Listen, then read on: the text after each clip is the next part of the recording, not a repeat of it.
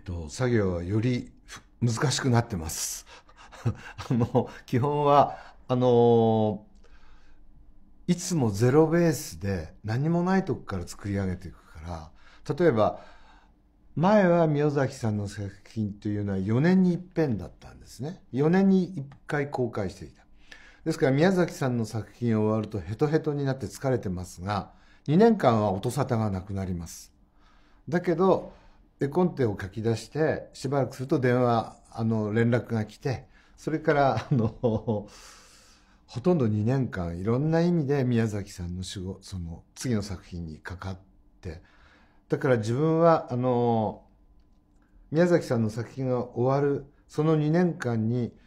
次の新しい自分を発見しなきゃいけない。あるいは新しい自分を作んなきゃいけない。そして宮崎さんの仕事が来る、その作品が来る。それから2年間、そのどういう世界を作るかっていうことでずっとやってきたから、とてもあのそういう意味で言うと、自分のそのえ映画音楽の作曲という時は必ず宮崎さんの作品を中心に組んで自分の人生を作ってきた気がします。